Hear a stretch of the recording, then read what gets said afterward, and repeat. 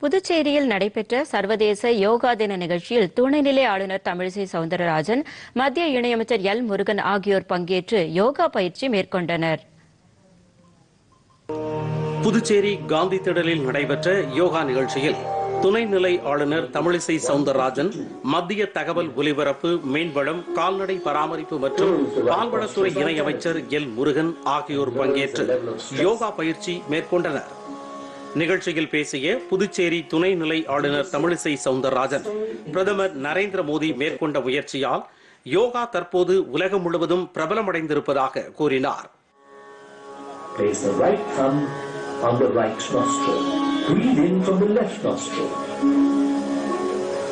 Gradually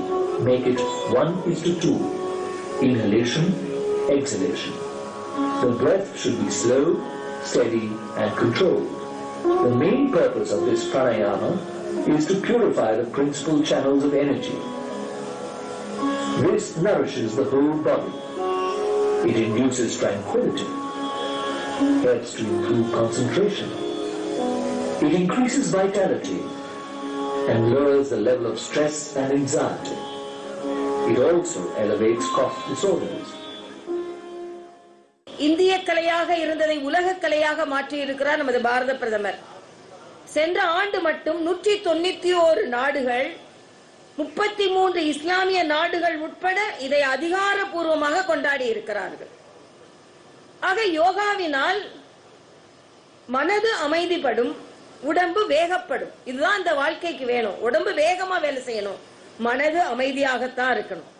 ஆக மனதை அமைதிப்படுத்தி உடலை சுறுசுறுப்பாக்குவது yoga.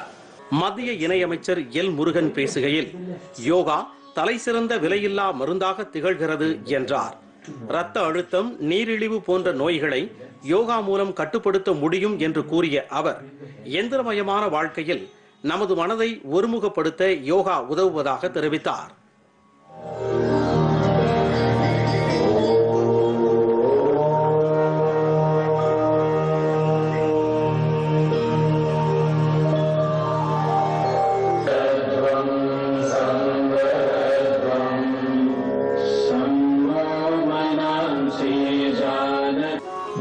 Head as far back as is comfortable and come back with inhalation.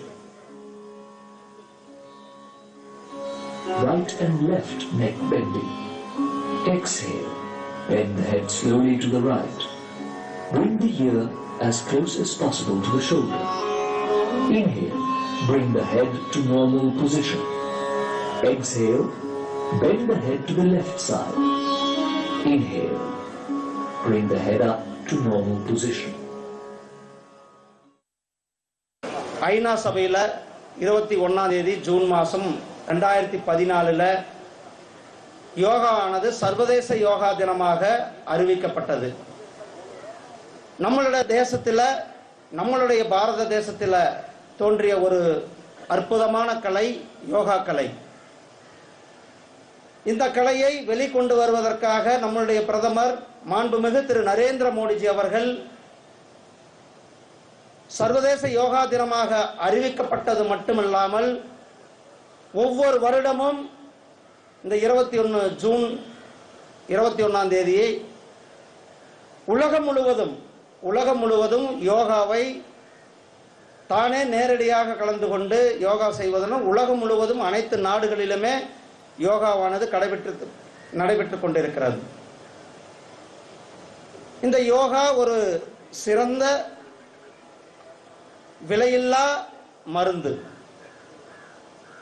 அப்படிப்பட்ட யோகாவை நாம் தினந்தோறும் செய்வதன் மூலம் நம்மளுடைய மனமும் நம்மளுடைய தேகமும் ஆரோக்கியம் இந்த யோகாவை நாம் அனைவரும் அது நம்மளுடைய குறிப்பாக நம்மளுடைய தேசத்தில் தோன்றிய யோகாவை நாம் செய்வதன் மூலம் நம்மளுடைய மிகப்பெரிய இன்றைக்கு வாழ்க்கை முறையில் லைஃப் ஸ்டைல்னால ஏற்படுகின்ற பிபி ஆகட்டும் அல்லது பிளட் ப்ரெஷர் சுகர் இது போன்ற லைஃப் டிசாஸ்டர் நோய்களை நாம் கட்டுப்படுத்துவதற்கு இந்த யோகா சிறந்தது ஒரு மருந்தாகவும் ஒரு உடற்பயிற்சியாகவும் மனப்பயிற்சியாகவும் யோகா இருக்கிறது.